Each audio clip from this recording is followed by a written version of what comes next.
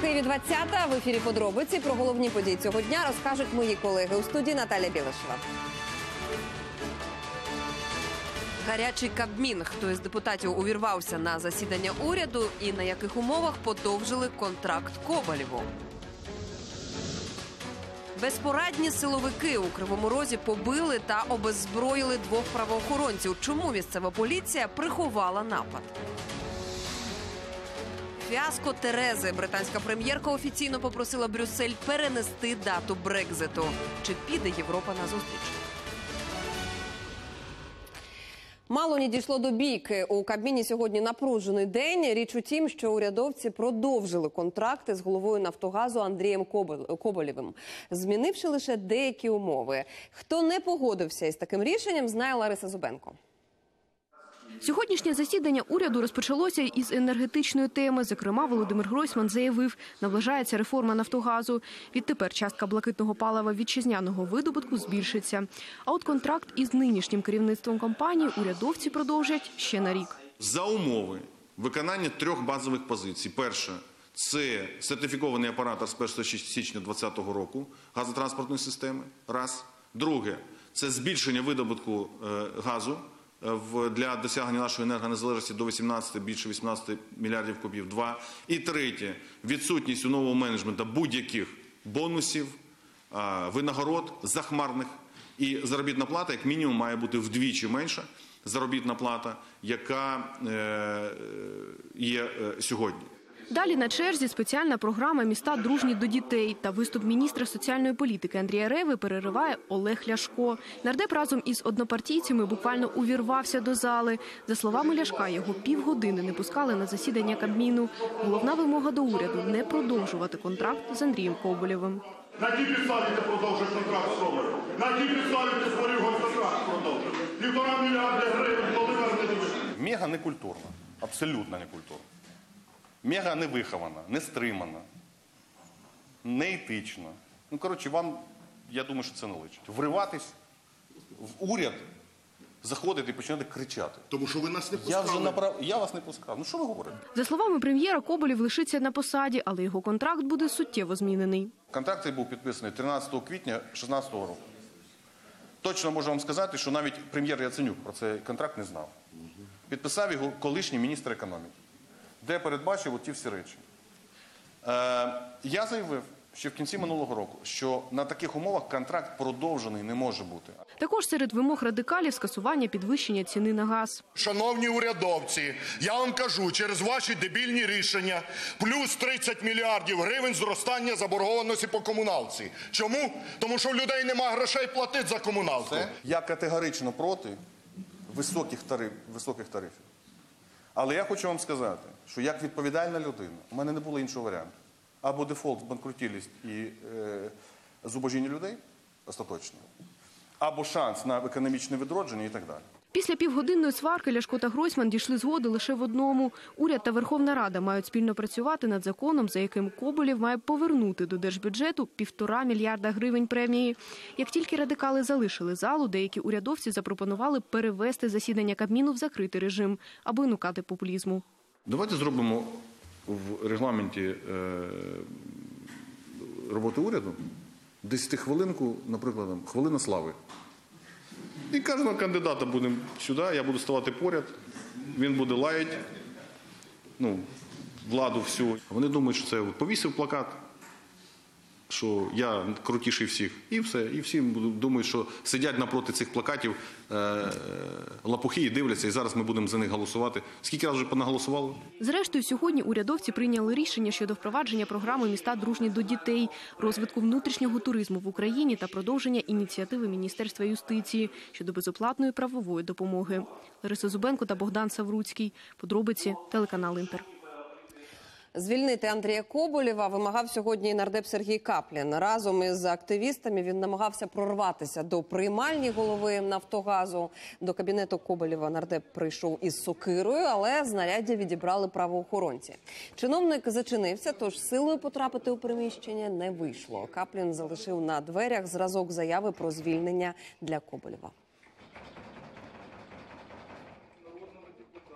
Наша політична сила, соціал-демократична партія, профспілки, Автоєвросила оголошує створення штабу супротиву призначення Коболєва. Наші дії будуть включати перекриття доріг по всій країні, блокування входу Коболєва на територію Нафтогазу, постійний контроль за його діяльністю і проведення акцій протесту по території всієї країни з метою примушування уряду України прийняти законне на сьогоднішній день максимально справедливе рішення відставки Коболєва Акти перевірок НКРЄКП трьох газорозподільних компаній складені, наче під копірку. Про це заявили оператори цих компаній. Вони запевнили, що діють у рамках закону, а до актів додали багато зауважень і відмовилися їх підписувати. Тому на підставі цих документів карати операторів ГРМ, як того вимагає Нафтогаз, незаконно. Через блокування підприємств монополістом та за низькі тарифи газові компанії за останні три роки втратили понад 9,5 мільярдів гривень. Майже 40% поправок до мовного законопроекту встигли розглянути у Верховній Раді. Депутати зупинилися на 821-му зауваженні. На те, що до виборів президента документ проголосують остаточно, нардепи вже навіть не сподіваються. Я нагадаю, проект закону зобов'яже чиновників усіх рівнів говорити українською. Також українською муситимуть розмовляти правоохоронці, лікарі, адвокати та нотаріуси. Мова навчання та науки також лише українська, але остаточна версія проекту закону стане зрозумілою після розгляду усіх поправок, а їх понад дві тисячі. У меня, например, сын младший ходит в украинскую школу, разговаривает уже в основном, приходит со школы, у них украинский, разговаривает со мной на украинском. Ну и хорошо, и слава богу. Но э, пере- как они рассказывают через колено, ну я вижу через колено. Пусть они, еще раз говорю, пусть вернут то, что награбили, а потом поговорим обо всем остальном. Я думаю, что это больше интересует людей. Нет такой проблемы, украинский язык, украинском... Все по-украински у нас, все великолепно, все разговаривают. И знаете, что я вам скажу? Я вот со многими э, знаком, которые воевали там э, сегодня, вот ни разу в окопах у них не спрашивали, на каком языке ты разговариваешь. Жодного кримінального покарання в цьому законопроекті немає. Там є лише адміністративні стягнення. Вони не будуть стосуватися жодною мірою будь-яких фізичних осіб, які розмовляють в побуті, розмовляють між собою, розмовляють на вулицях будь-якою мовою, е, яка їм є зручна. Ми, е, пишучи цей законопроект, дуже пильнували і дуже зважали на усі міжнародні зобов'язання, які має Україна. Ми дуже уважно ставилися до того, аби жодною мірою не принизити чи не е, е, зробити нестерпним життя представників національних меншин. І цей законопроект. Жодною мірою не конфліктує з законом про національні меншини, який в Україні існує. Мізерна зарплатня і величезна відповідальність, а ще проблеми із житлом це головні причини, через які вчителі вже давно йдуть із професії. Так триває вже багато років. Тож зараз школи стали відчувати дефіцит кадрів. Чи можливо виправити ситуацію, розкажуть наші кореспонденти. Нагадайте мені, будь ласка, якщо ми говоримо з вами Закарпаття, яке місто ми називаємо? Будь ласка. Це Ужгород. Буковина. Згадуємо, будь ласка, Валентин. Буковина, Чернівці. Звичайний урок історії в школі гуманітарної праці. Дітей тут навчають за експериментальною програмою. Окрім загальних предметів, вивчають мистецтво, активно займаються спортом, знайомляться з азами філософії. Радіофанати, приміром, навіть створюють свої програми, які можна почути в шкільному ефірі. Юні театрали готують свої вистави. Тут навчаються російською. Юрій Бойко каже, важливо не допустити її знищення. не дать уничтожить русский язык, чтобы дети могли учиться так, как они привыкли, чему они привыкли, не э, пропустить вот этот закон, который называется формально защита украинского языка, а на самом деле это закон по уничтожению русского языка.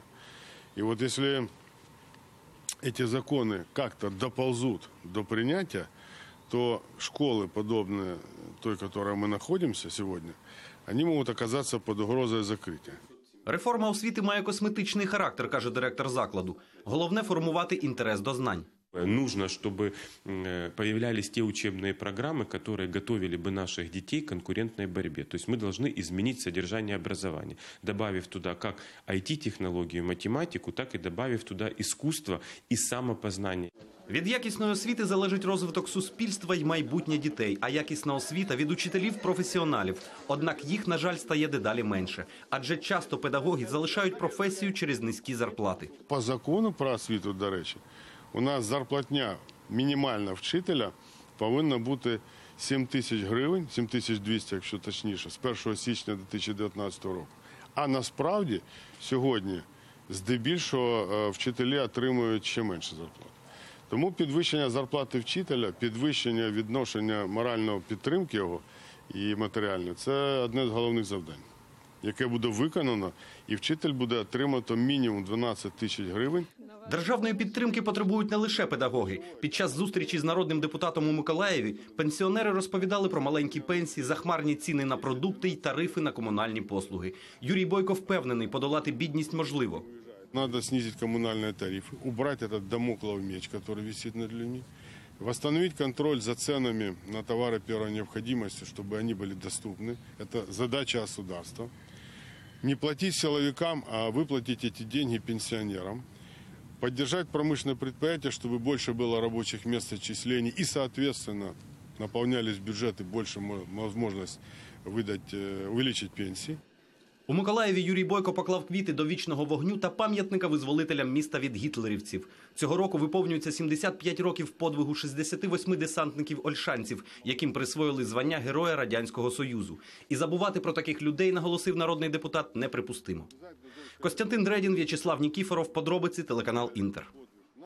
Трьох наших військових поранено сьогодні на передовій. Бойовики сім разів били по українських позиціях, п'ять обстрілів із важкої зброї. А на околицях Мар'їнки ворог влаштував чергову провокацію.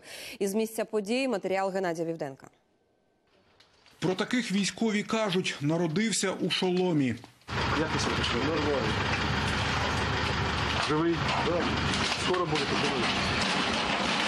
Григорій був поранений у голову ворожим снайпером. Куля пройшла дотично. Стан кваліфікують як середньої тяжкості. Бійця евакуюють до Покровська, де медобладнання досконаліше. Поки що, за прогнозами лікарів, на одужання піде мінімум місяць. Солдата вчасно доправили з передової медики королівської 24-ї бригади. Від е, моменту поранення до моменту евакуації сюди нашу Каховську лікарню, де є стабілізаційна лікарня, е, бригада від госпіталя, проходить десь приблизно так в середньому 40 хвилин. Якщо буде потребувати його стан, буде переведений чи в Харків, чи в Дніпро на подальші етапи медичної евакуації. Це вже четвертий поранений від куль ворожих снайперів на цій ділянці. Український воїн йшов на спостережний пункт за зміною на своє бойове чергування, коли в нього влучила куля снайпера. Саме снайперський вогонь на цій лінії оборони стає нестерпним. Біль. Краще я би був на його місці. Андрій командир Григорія. Його побратим Дмитро також потрапив під цей обстріл с частного сектора. Потому что я сам э, пробегал специально, а, ну, чтобы выявить, с какого направления стрельба была. И у меня, по мне сразу три пули выстрелил. Направление стрельбы было вот так от меня. Ворог працює підло, цинічно. Даний випадок стався на Україні населеному пункту Мар'їнка, де гуляють. При мені сьогодні гуляли е, мами з маленькими дітьми, двохрічними, трьохрічними. Лінія зіткнення тут проходить житловими кварталами передмістя Донецька, Мар'їнки. Тож російські снайпери традиційно використовують забудови для прикриття. Побратими Григорія та і він сам пробачати ворогові такі дії не збираються. І за себе, і тим більше за країну. Геннадій Вівденко, Вадим Ривун та Віталій Ліщук. Подробиці телеканал Інтер із Донецької області. Президент присвоїв звання Героя України старшому сержанту Андрію Конопльову посмертно. Сьогодні його пам'ять вшанували на Хмельниччині. Петро Порошенко зазначив, що Конопльов у 2015 році першим помітив, що бойовики наступають та розпочав бій. Він особисто знищив два танки, але й сам загинув. Зірку Героя України отримав і підполковник Іван Вінник. Пам'ять усіх загиблих вшанували хвилиною мовчання. Тут же на Хмельниччині Петро Порошенко взяв участь у випробуванні випробуваннях безпілотних турецьких апаратів Байрактар. За словами глави держави, дрон протримався у небі понад добу на висоті 8 кілометрів. Тож може нести ракетне озброєння, знищуючи укріплення противника, у тому числі вражати морські цілі. Президент доручив міністру оборони прискорити переговори і, е, щодо закупівель протитанкових комплексів Джавелін із США. З надходженням безпілотних літальних апаратів Бар'яктар до Збройних сил України наші спроможності протистояння ворогу значно зростуть. Кажуть, що поява американських стингерів в Афганістані стала свого часу переломним моментом в радянській авантюрі в цій країні. І я вірю, що турецькі бойові дрони американські джевеліни, інші позиції, які постачають нам наші партнери, вітчизняні вироби оборонно-промислового комплексу значно підвищать ціну брутальної агресії Кремля проти України. Другу партію джавелінів Київ отримає від Сполучених Штатів у 2020 році. Про це повідомив сьогодні у Конгресі спецпредставник США із питань України Курт Волкер. На яку ще допомогу розраховувати і що у Вашингтоні думають про українські вибори? Дмитро Анопченко чув усі заяви. Посмішки, селфі та обійми. Жінки з делегації, яка саме приїхала з України, фотографуються із Куртом Волкером у кулуарах Конгресу. Він для них не знаменитість, а радше друг України, зважаючи на те, скільки саме Волкер робить для допомоги нашій державі. А далі вже серйозна розмова про те, якою має бути ця допомога. Насамперед, постачання зброї, каже Волкер. Конгрес підготував 250 мільйонів доларів для військової допомоги Україні, і ми будемо постачати зброю в Україну. Це вже стає звичною справою. Волкер каже, у Вашингтоні вважають, Києву у першу чергу потрібні комплекси протиповітряної та берегової охорони, аби протидіяти подальшій агресії, зокрема й на Азові. Але не тільки в планах надати ще більше джавелінів, зізнався нам дипломат. Це найбільш вірогідно, оскільки джавеліни вже в Україні. Ми працюємо з українськими військовими, вчимо їх використовувати зброю, зберігати. Тож логічно буде просто збільшити кількість тих самих джавелінів. Окрема тема виступу Волкера майбутні президентські вибори. Він каже, з Вашингтона самі перегони поки що здаються прозорими і демократичними, хоча б тому, що за два тижні до голосування невідомо хто переможе, і штати не мають фаворита. У США не надають перевагу жодному з кандидатів. Для нас важливі принципи, і ми хочемо, щоб Україна зміцнювала демократичні інституції, і боролася із корупцією. Ще одна обіцянка, яку Курт Волкер дав сьогодні: переговори щодо України не відбуватимуться без України. Дипломат каже, що до Донбасу йому все одно доведеться вести перемовини із Кремлем. Проте, як він висловився, це не буде за спиною українців. З Вашингтона Дмитро Анопченко, Сергій Коваль, американське бюро телеканалу Інтер. Передвиборні фейки днями стало відомо, що від імені народного депутата Вадима Рабіновича виборцям надсилають листи із закликами не підтримувати кандидата від опозиції Юрія Бойка. В опозиційній платформі за життя застерігають, що не варто довіряти провокаторам. Я смотрел такие конвертики красивые с моей фамилией. Очень много денег потратили, десятки тысяч писем отправили. Э, То есть уважают очень. Они считают, что мое мнение повлияет на выбор. Это приятно. Поэтому я хочу донести свое мнение. Все, что я думаю, я говорю. Я в течение четырех лет, находясь в том числе и в зале, и на экране, говорю то, что думаю. Если они уроды, я говорю уроды. Если я голосую за этого, поэтому я поддержал Бойко. Наша партия выдвинула Бойко.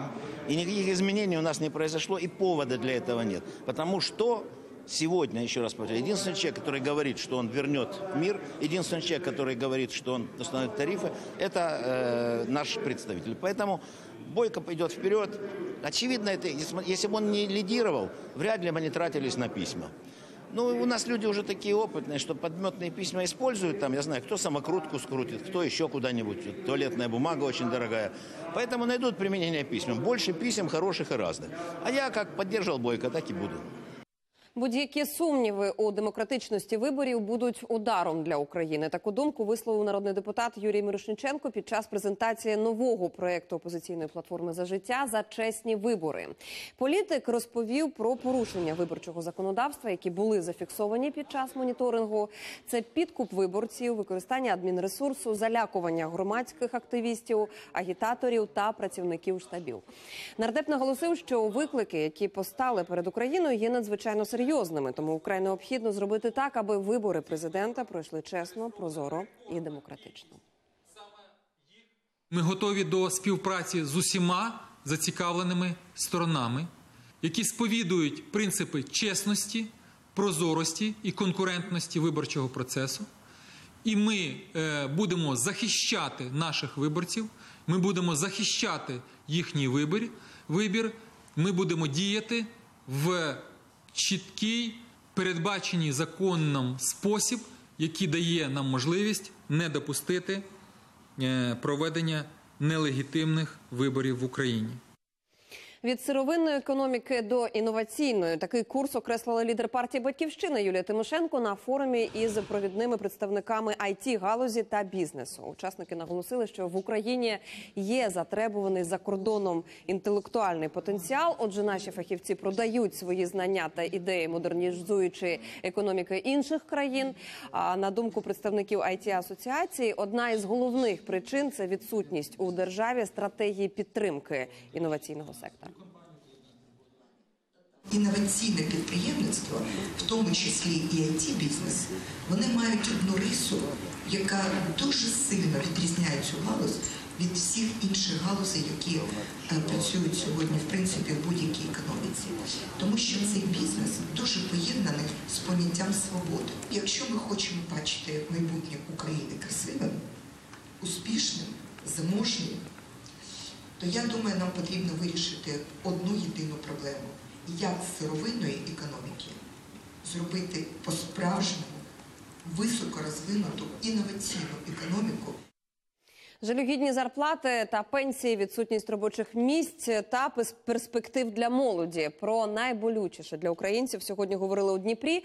Тут пройшов форум лікарів, педагогів, викладачів, професорів та молоді. Про що домовилися? Дивіться у наступному матеріалі. У залі зібралися лікарі, професори вишів, викладачі та студенти. Говорять про наболіле. Викладачі нарікають на маленькі зарплати. Лікарі незадоволені медичною реформою, яку зараз впроваджують в Україні. Вчера встречались э, с хирургами районной больницы. Хирург, который э, проводил операции в Чернобыльской зоне, э, ветеран. Э, и он говорит, то, что сейчас реформы, которые проводятся, это убийство. Это просто уничтожение нашего народа, уничтожение инфраструктуры, уничтожение образования. Вот, и это все надо вернуть на нормальные пути, на э, нормальные надлежащие рельсы. Студенти, які хочуть жити та працювати в Україні, кажуть, перспектив сьогодні для них немає. Отримавши диплом, вони вимушені йти працювати туди, де є місце, а не за спеціальністю. Тому виступають за відкриття так званої школи лідерства. Її створення ініціює засновник опозиційної платформи за життя Юрій Бойко. И Эта идея мне действительно понравилась, так как молодежь будет знать, что такая школа будет существовать. Почему бы не обратиться туда, попробовать себя? И э, также вот Юрий Анатольевич говорил, что очень многие достигли успеха. Отличная возможность, и я полностью поддерживаю такие проекты. Усі учасники форуму зійшлись на тому, що українцям потрібен мир. А наступним кроком має стати відновлення економіки. Без экономики невозможно решать социальные проблемы. Это и повышение пенсий, повышение зарплат. Это и выплаты, которые нынешней властью были отменены. Всех льготных категорий граждан, в том числе и мамочек на рождение ребенка. Юрий Анатольевич сказал, что мы все это вернем. Що ж стосується реформ освітньої, медичної, пенсійної, учасники форуму вважають, що вони потрібні, але наголошують, тут необхідне доопрацювання. Єгор Махов, Ігор Овсієнко, подробиці телеканал Інтер, Дніпро. В Ірпені знову скандал із можновладцями. Міськрада дозволила знести будівлю, яка їй не належить. Люди б'ють на сполох. кажуть, незабаром тут з'явиться нова багатоповерхівка. Чи перевищує влада свої повноваження? Розбиралась Ірина Зорова. Розова. Листопад минулого року в центрі Ірпеня зносять будівлю військомату. Поряд з цією ділянкою будують багатоповерховий житловий комплекс. Мешканці приватного сектору, до якого впритул розташовано нові багатоповерхівки та ділянка з військоматом, категорично проти. Мешканці, які ми тут мешкаємо, тут маємо вже великі будинки, які впритул до приватного сектору, незважаючи на протести, на будь-що. І зараз всі знають, що буде об'єднано двох цих ділянок, що тут от, і буде ще одна багатоповерхівка. Що ще турбує місцевих мешканців, які живуть у приватному секторі, це ось цей трансформатор, який тут стоїть. Від нього запитані решти приватного сектору, вуличне освітлення, яке ось іде по цій вулиці, по сусідній.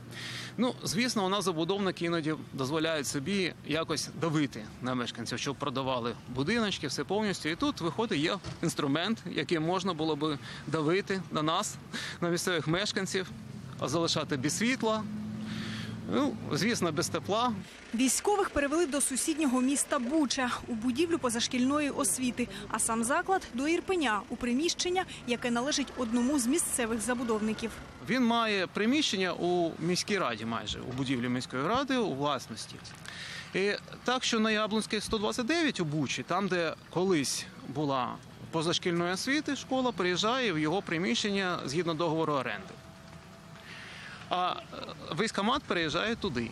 Дозвіл на знесення військомату надала Ірпінська міська рада. Проте, як виявилось, будівля військомату не комунальна власність, а державне майно. Станом на початок року вона й досі є на балансі територіального управління судової адміністрації. Це приваблива земельна ділянка. Вона давно не давала покою е, забудовникам. Ми почали розбиратися, що ж таке ну, законність е, знесення вказаного е, приміщення.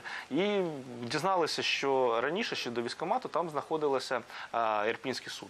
І Воно до цього часу знаходиться на балансі територіального управління судової адміністрації в Київській області. Є офіційна інформація, тобто вказане майно являється Житлове приміщення є державною власністю. Указану земельну ділянку, де раніше розташований був військкомат, вже передали у власність для будівництва житлового будинку е, студенту е, Ірпінської податкової академії, от, який до цього там шукав роботу кальянщика, а тут е, став щасливим власником земельної ділянки в центрі міста. Ще у січні активісти звернулись до правоохоронців. Слідчим відділом Ірпінського відділу поліції Головного управління національної поліції в Київській області здійснюється е, досудове розслідування у кримінальних провадженнях двох, які на даний час об'єднані в одне е, за фактом зловживання службовими особами Ірпінської міської ради під час, як ви зазначили, так званого знищення воєнкомату. На даний час триває досудове розслідування.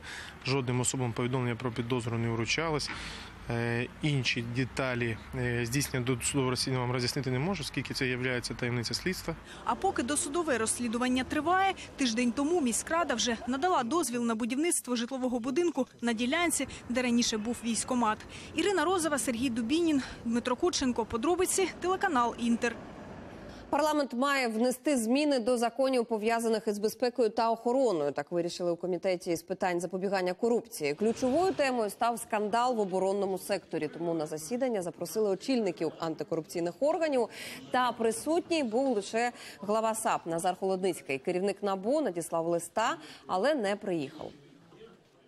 Я думаю, в кінці по цьому питанню ми маємо зробити висновок, е, надати оцінку роботі НАБУ від, е, разом з тими з тою інформацією, яка прийшла листом від пана Холодницького. І друге питання це розглянути е, питання про антикорупційну стратегію держави, яке сьогодні е, вже довгий час висить в Верховній Раді, щоб його повернути нам в комітет.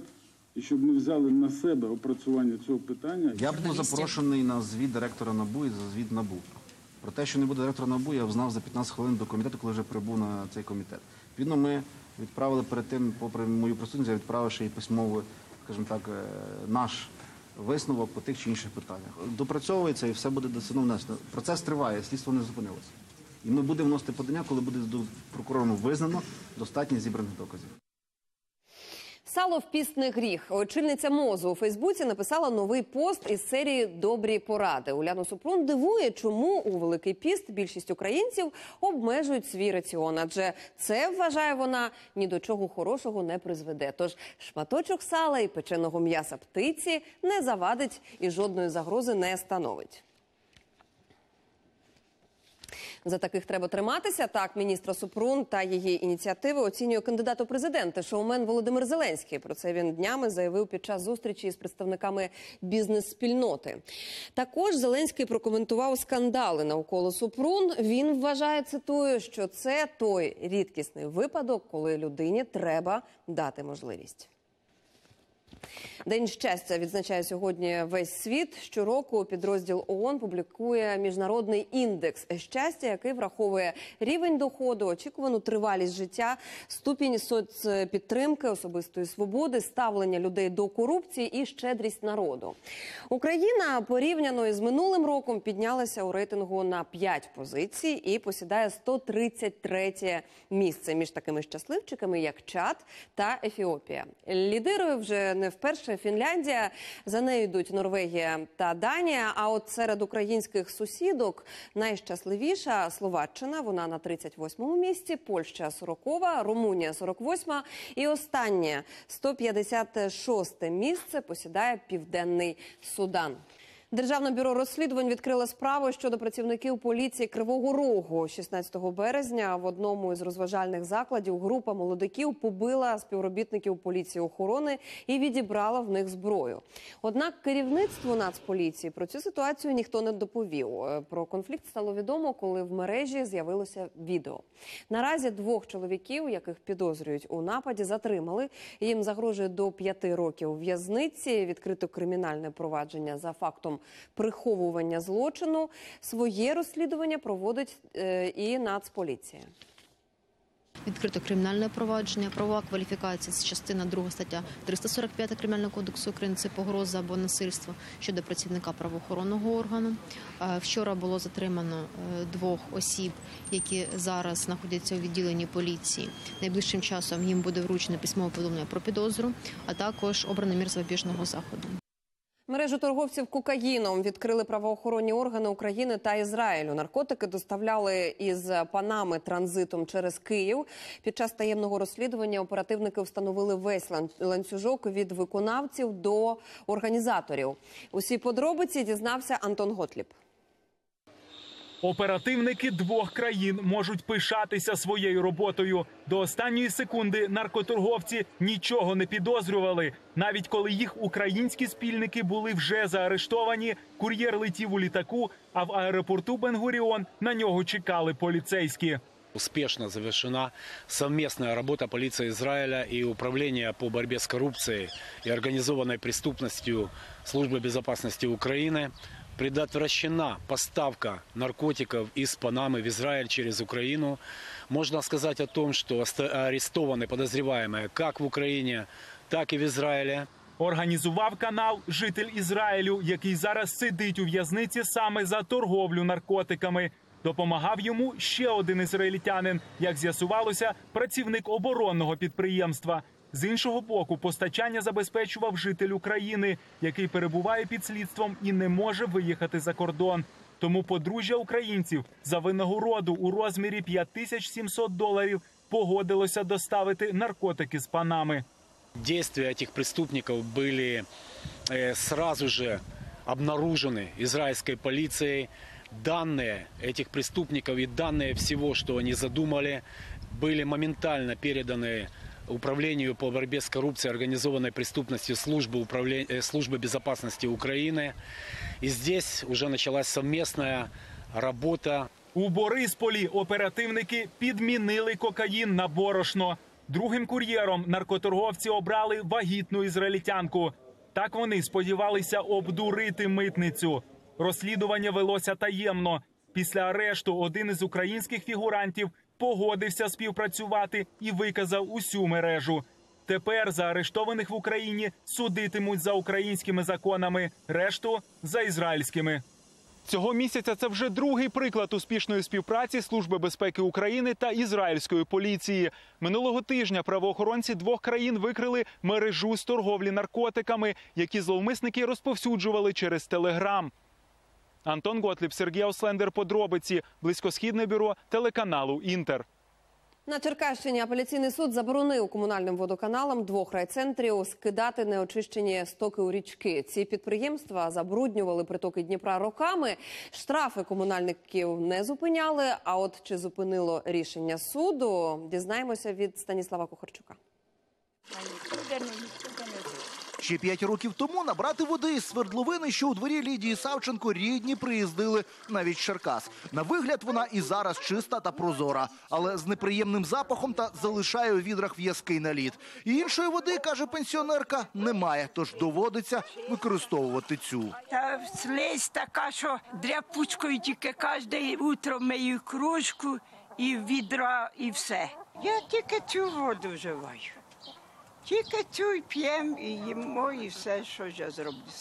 Ну, раніше була добра вода. Така ситуація у всіх селах, через які тече річка Суха Згар. Вже років з 10 розповідають місцеві жителі, як вона перетворилась на мертву стічну канаву. Тут навіть жаби не живуть. Водойму забруднюють потоки нечистот, які систематично скидають очисні споруди золотоноші. Міський голова звинувачень не відкидає. Мовляв, таке і справді було кілька років тому. Та після реконструкції очисної системи все змінилось. І нині запевняє, більшість показників у нормі. Зараз із полів пішли хімікати. Зараз сніг розтанув, все це поніс нашу річку. За пару показників ми зрозуміло переживемо, але критичної ситуації ми не бачимо. Прозора вода у сухій згарі і дійсно є, та лише там, де вона бере початок. Далі у річку шаленим потоком летять стоки.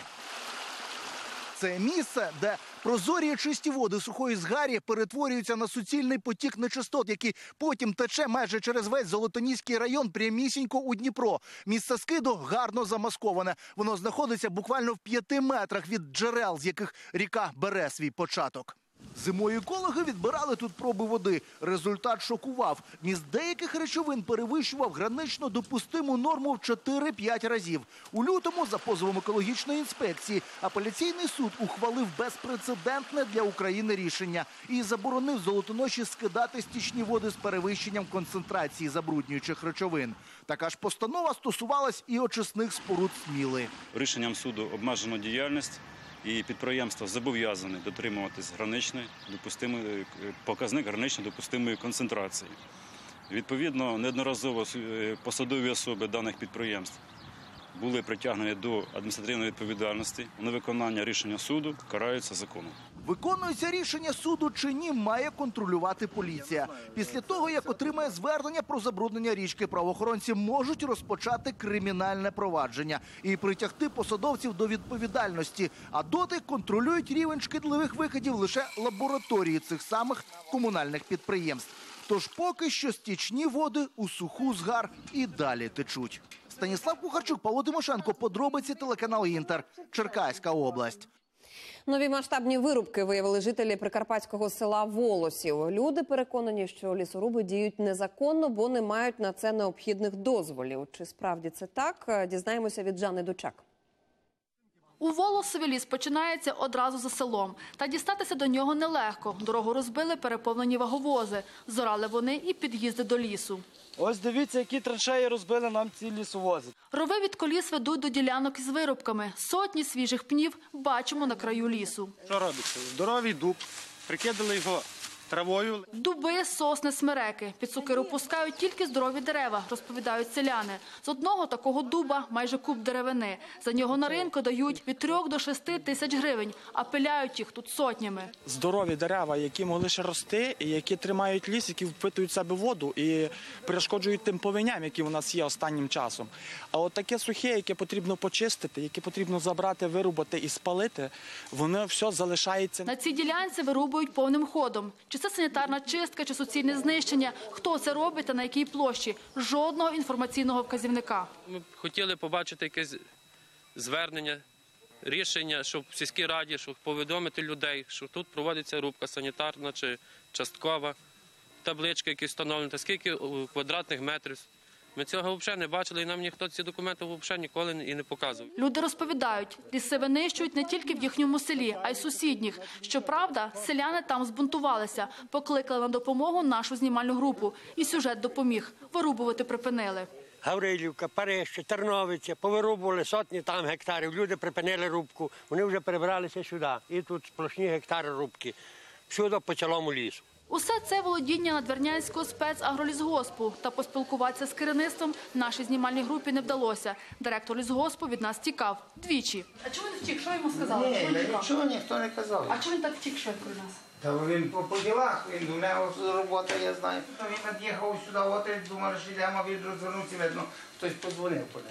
Схоже, приховувати керівництво і справді є що. Тільки за минулий рік у Надвірнянському спецагролісгоспі екологічна інспекція під час планових перевірок виявила незаконних рубок більше ніж на 4 мільйони гривень. Скільки знищують насправді, не знає ніхто. Жанна Тучак, Зиновій Автонас, подробиці, телеканал Інтер, Івано-Франківська область.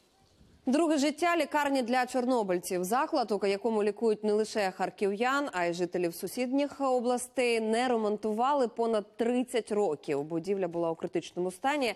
Що встигли зробити за півроку, бачили наші кореспонденти. Ще минулого літа Харківський обласний диспансер радіаційного захисту населення мав такий вигляд: зруйновані комунікації, дірявий дах, затоплені підвали, сирість та грибок у палатах і застаріле обладнання в операційних. Тоді обласна рада терміново виділила кошти, щоб врятувати унікальний заклад, де лікують чорнобильців із кількох регіонів. Сьогодні оновлене хірургічне відділення вже готове приймати перших пацієнтів. Диспансер практически 30 лет был без капитального ремонта. Мы начали ремонтировать, чуть больше полгода прошло, а уже отремонтировано функциональное диагности... отделение функциональной диагностики, реанимационный блок, э, операционный блок, э, заменена крыша, пом- поменены все внутренние коммуникации. Практически э, завершаем работы в физиотерапии и будем продолжать ремонтные работы. В этом только году закуплено 46 единиц медицинской техники и оборудования. От самого простого до сложных аппаратов. Учасник ліквідації аварії на ЧАЕС Володимир Проскурін до лікарні потрапив учора. Лікарі діагностували в чоловіка гіпертонічний криз. Каже, чорнобильці тут як удома, бо зазвичай проходять лікування двічі на рік. Тож за відновлювальними роботами пильно стежили. Мы здесь, во-первых, во время ремонта мы постоянно контролировали. Э, Что-то подсказывали строителям, что-то они нам э, подсказывали. И этот ремонт шел в полном контакте с общественностью. У відновленій реанімаційній палаті тепер шість нових функціональних ліжок, а ще сучасні електронні системи стеження. Э, Он фиксирует ЭКГ, сатурацию пациента, насыщение крови кислородом, э, частоту дыхательных движений э, и артериальное давление. Завдяки новому обладнанню для анестезії та реанімації тут зможуть оперувати пацієнтів, яких раніше доводилося доправляти до інших клінік. Мы получили наркозную аппаратуру, которая создаст более безопасность при проведении хирургических вмешательств. Мы получили аппарат искусственной вентиляции легких. Э, Мы в этом году получили аппарат УЗИ, э, получили видеоколон, э, гастроколоноскоп. Відновлювальні роботи в лікарні триватимуть. На черзі реконструкція відділення фізіотерапії. Світлана Шикера, Олександр Яновський. Подробиці телеканал Інтер. Харків. Коли трьох років замало, Лондон просить ЄС відкласти Брекзит. Тереза Мей написала про це голові Європейської ради Дональду Туску. Скільки ще часу потребує Британія, і що відповість Європа на її прохання? Про це у матеріалі Світлани Чернецької.